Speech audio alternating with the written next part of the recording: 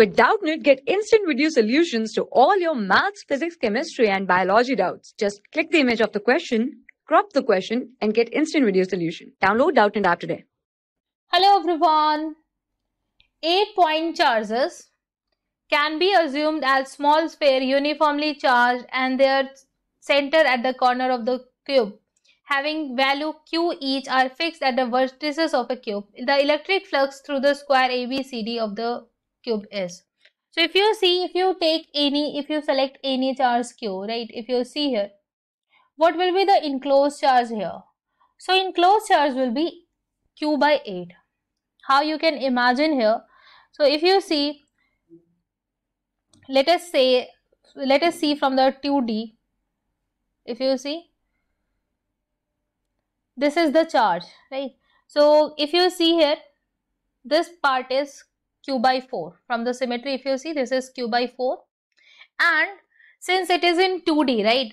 So if you imagine there it will be a front and it will be a back right? So we we just will cut it from half. So this is we are talking about the hemispherical charge. So it is half. So the charge enclosed that will remain with the cube that will be inside the cube it will be q by 8 so for each out of each charge, only 1 by 8 part will be inside the cube and 1 by 8 part. You can imagine it from this diagram.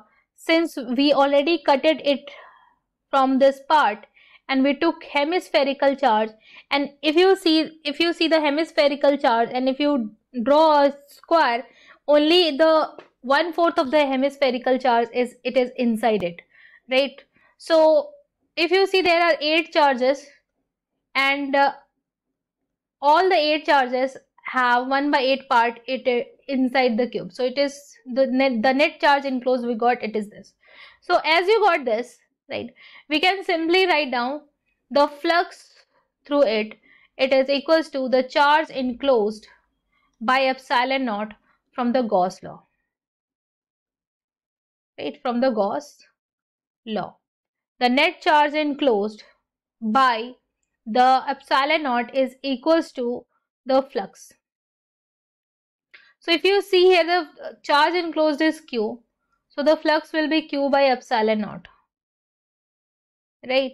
So as you got the flux, right, we want the electric flux through ABCD. So if you see there are six, uh, if you see there are six phases, right, one, two, three, four, five, six, and all the six are having symmetry right? So flux through each phase will be the same right? So if i write down the flux through one phase it will be 1 by 6 of this.